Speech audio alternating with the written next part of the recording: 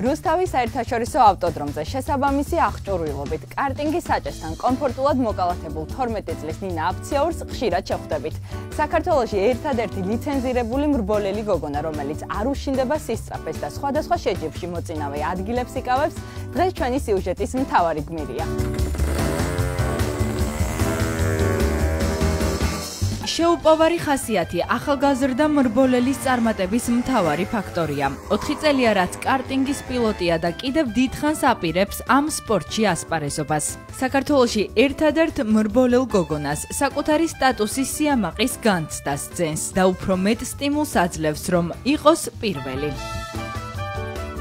ნინა, მეც მომანდომე საკუთარი ბედი გამომეცადა, თუმცა მანამდე მოდი მითხარი, საიდან გაგიჩნდა იდეა, რომ ამ სპორტში ჩართულიყავი?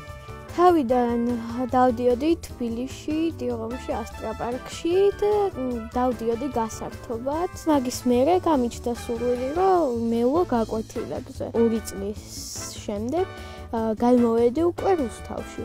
თავიდან დავჯექი ჩემ ახალ კარტინგზე ვერ დავდიოდი ისე სწრაფად, რადგან აქ უფრო დიდი ტრასაა, ვიდრე ასტრაპარკში. სისწრაფის არ მეშინია, რადგან შევეჩვიენ თავიდან ცოტა მეშინო და სწრაფ კარტინგზე არ გადმოვდექი, მაგრამ ეხლა აღარ მეშინია. და ალბათ ასე მეც დავდივარ. გახსოვს პირველი დღე, როცა სისწრაფე გამოსცადე, როგორი იყო ემოციურად ჩემთვის? სწორზე რომ გავდიოდი, მომინდა რომ უფრო სწრაფად დამეჭერა გაზისთვის ფეხი და დავაჭერე და ცოტათი შემეშინა. რა არის შენი ყველაზე დიდი ოცნება ამ კუთხით? გავხდე ფორმულა 1-ის პირველი გოგო პილოტი. ნინა, მინდა რომ ახლა ერთმანეთს შევეჯიბროთ. ვიცი რომ დაწყებული ბრძოლა უკვე წაგებული მაქვს გულწრფელად ვამბობ, მაგრამ მაინც საკუთარ ბედს გადმოვცდით. მოდი დავიწყოთ.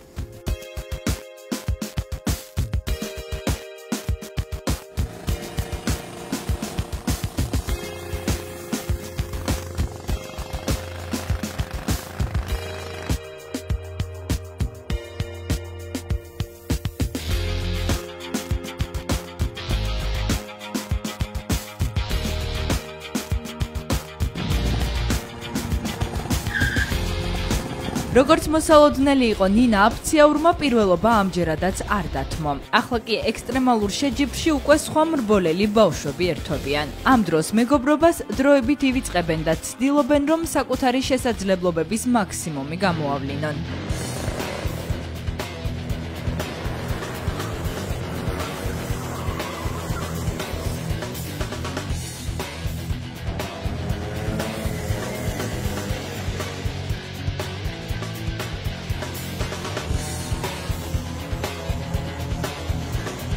სპორტში არის მხოლოდ ერთი გოგო ნინა და ჩვენი მეგობარია და შეჯიბრის დროს მეგობრობა გვერდზეიდება და სულ გვავიწყდება და ვივდით ჩვენთვის. როდესაც მე ვხედავ რომ ის მისცემს, მინდა რომ გავიმარჯვო მასთან ბრძოლაში. მაგრამ ეს არ გამომდის, რადგან ის ძალიან თქარადადის და ვერ ვეწევ. ჩვენ ვართ მეგობრები და რო გავდივართ ტრეკზე და სანამ გავალთ ხოლმე, მაგამდეც ხალისიანად ხვდებით ერთმანეთს და ტრეკზეც ცოტა უხეშად, მაგრამ მანდაც მეგობრულად. ძალიან გავიხარდება თუ დაგვემატება ბევრი გოგო და ბიჭი. ნინას ძალიან ხშირად ვაძლევთ რჩევებს და გვინდა რომ უფრო უკეთესი კარტინგისტი გახდეს. მე და გიორგი ვართ ერთ-ერთი პირველი მგობოლელები, რომლებმაც გავიცანით ერთმანეთი. მას შემდეგ გავიდა 7 წელი ინოვაციაურით შემოგვიერთდა. ძალიან გვიხარია რომ ყველანი ერთად ვართ და ძალიან მინდა რომ ბევრი გოგოც დაგვემატოს ამ სპორტში.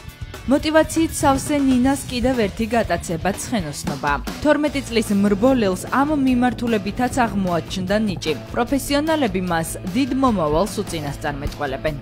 ნინა საკმაოდ ყურადღებიანი, საკმაოდ ნიჭიერი ახალგაზრდა. ყველაფერი წინ აქვს, ძალიან მოწადინებულია. ვარჯიშობს კვირაში ორჯერ, სამჯერ, რადგან ბევრ დროს უთმობს ასევე კარტინგს და იმედია რომ აირჩევს საცხენოსნო სპორტს. ნინა, გარდა კარტინგებისა, ცხენოსნობაც შენი ერთ-ერთი საყვარელი სპორტია და თავს რამდენად კომფორტულად გძნობ? მმ, ცხენები და კარტინგი მეყვარს ერთნაირად.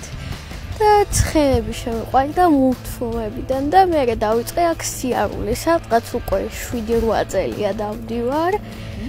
აა და თავიდან ვიჯექი პატარა ცხენებზე და მე გადმოვიჯექი უკვე სადღაც 10 წელსო გავხდი, გადმოვიჯექი ესეთ ცხენებზე, ესეთ დიდ ცხენზე. ნახა უკვე მიადვილება ესეც ხეზე ჯდომა. რას ფიქრობ, სამომავლოდ კარტინგებში უფრო ხედავ საკუთარ თავს თუ აი ამ სპორტში? ცხენებში.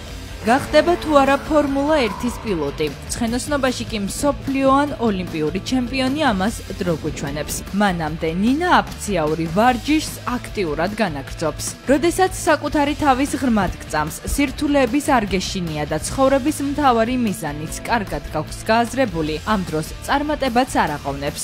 ყველა ამ პირობას კი ნინას ხასიათი ნამდვილად აერთიანებს.